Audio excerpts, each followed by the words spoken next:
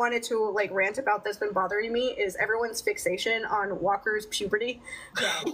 so for the Deadpool Wolverine movie, they there's a lot of different Deadpool characters and iterations of him in the comics, and there are all these rumors forever that um, Walker was going to play like Kidpool or one of those other characters for Deadpool because he played a young Ryan Reynolds in the Adam Project so well, and people loved him in that movie. Like I have never seen an interview with him where he's being interviewed by like a major publication like Entertainment Weekly or something like that, where they didn't bring that up with him.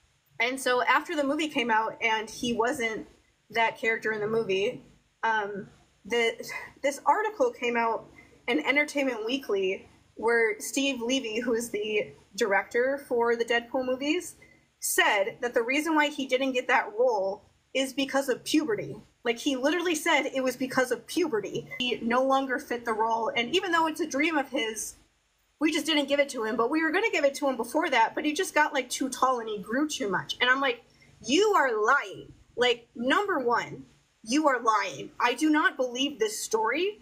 I think that enough people asked you about it and you feel bad because Walker is such like a kid still.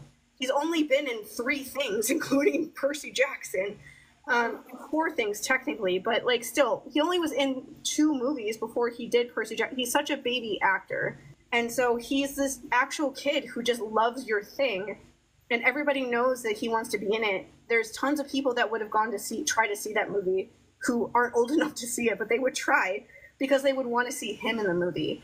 And so you're just making up because there is no way that I'm going to ever believe that that movie wasn't going to nepo baby it and have Blake and Ryan's kid play that role because that's who plays the role in the movie is their kids.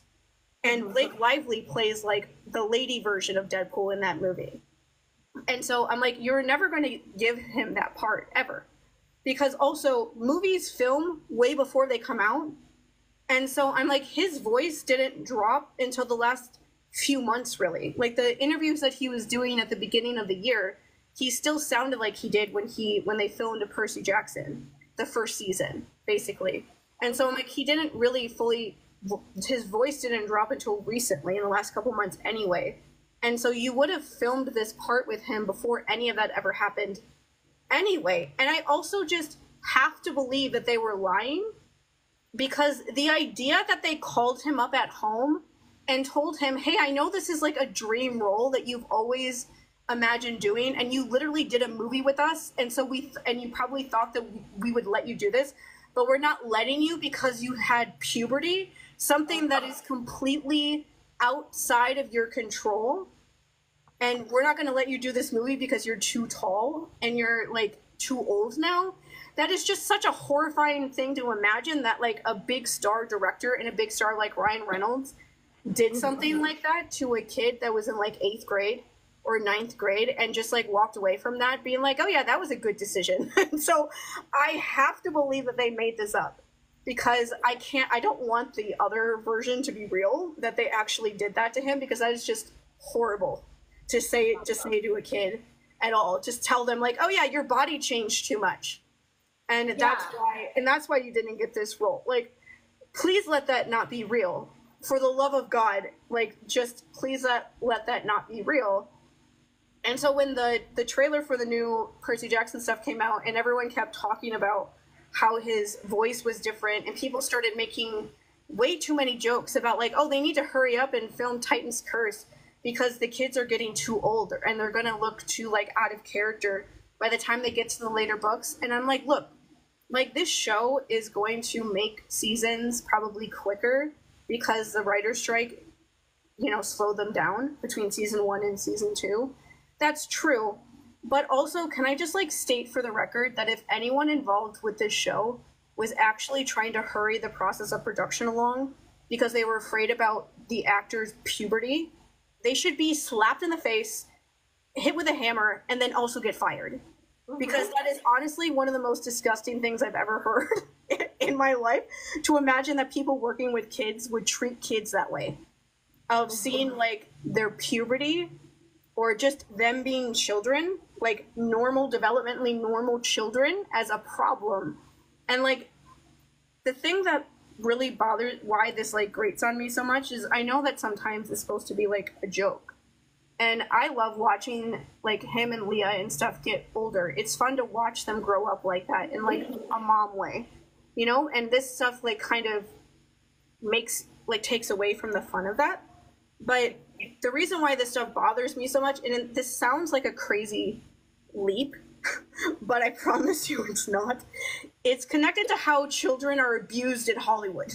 Because I'm not saying that anyone is abusing Walker any of the other kids involved in this at all. I'm not saying that at all. But what I am saying is that the way that people treat kids, where the you feel like you are allowed to talk about every facet of their life because they are a public figure, that is what I mean. That people feel like they can sit there and debate about whether Walker going through puberty is a problem or not when he's acting as a role. Like the fact that you feel like you can make comments about his body, you can make comments about his voice, you can make comments about him as a person.